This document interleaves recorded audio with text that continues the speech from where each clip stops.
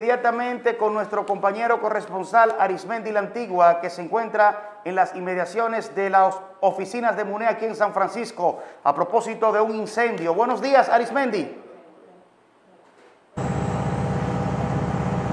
Sí, muchísimas gracias. Asimismo es, en esta ocasión me encuentro en las instalaciones del grupo MUNE, donde pueden observar en las imágenes ya como parte del cuerpo de bomberos de San Francisco de Macorís han sofocado las llamas del incendio producido a tempranas horas de la mañana de hoy en el depósito de cáscara de cacao de la compañía MUNE SRL. Eh, hay que destacar que hasta, este, hasta, hasta el momento no se han reportado pérdidas humanas en este siniestro. Vamos a tratar de conversar con miembros del cuerpo de bomberos que están aquí sofocando. Caballero, estamos en vivo para Telenor. ¿Cuál es su nombre?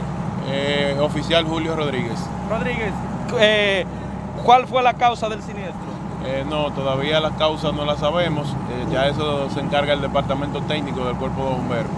¿hasta, ¿A qué hora empezó el, fuego y por dónde empezó más o menos? Eran como las 6.50 de la mañana cuando recibimos un llamado vía el sistema 911 para que acudiéramos a, la calle Ingeniero Guzmán Abreu, que es esquina Santana, donde está el almacén de cascarilla de cacao de la compañía Munne. ¿Qué se afectó allá adentro?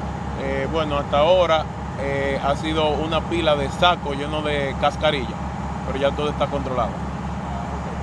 Bien, ahí escucharon ustedes eh, las declaraciones del Cuerpo de Bomberos de San Francisco de Macorís, donde pueden observar en sus imágenes cómo siguen las labores de sofocar este incendio de este almacén del Grupo MUNE en San Francisco de Macorís. Eh, esto generó inmediatamente una serie de cuestionamientos en la sociedad franco-macorizana, dado a que hace varios días eh, la Procuraduría General de la República dispuso la asignación de dos fiscales para tratar este caso donde eh, varias familias se han, se han visto afectadas en, un, en una supuesta estafa de más de 3, mil millones de pesos. Y nosotros vamos a tener que desplazarnos un poquito más del lugar porque realmente las llamas, que, eh, el humo que está saliendo está afectando nuestra respiración, y, pero lo cierto es que pueden observar en las imágenes ya como está prácticamente sofocado